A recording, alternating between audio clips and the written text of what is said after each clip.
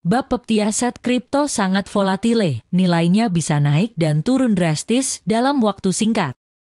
JAKRTA, KOMPAS.com, Kepala Badan Pengawas Perdagangan Berjangka Komoditi Bapepti Didit Nor Diatmoko meminta masyarakat memahami sifat dan karakteristika aset kripto agar bisa mendapatkan manfaatnya secara optimal dan mencegah terjadinya kerugian. Penegasan ini disampaikan saat menutup bulan literasi aset kripto di Jakarta. Sesuai sifatnya, nilai aset kripto sangat volatile bisa saja nilainya mengalami peningkatan maupun penurunan yang sangat drastis dalam kurun waktu pendek. Memang perdagangan atau sering disebut investasi aset kripto mengandung risiko tinggi ujar Didit dalam siaran resminya, dikutip Senin 1 Maret 2023. Dengan penggunaan teknologi blockchain, Didit meminta masyarakat lebih cepat beradaptasi mengikuti perkembangan perdagangan aset kripto. Baca juga pasar kripto tengah bearish. Ini penyebabnya kita harus berusaha cepat beradaptasi dalam mengikuti perkembangan perdagangan aset kripto, seperti penyesuaian berbagai regulasi dalam mengatur ekosistem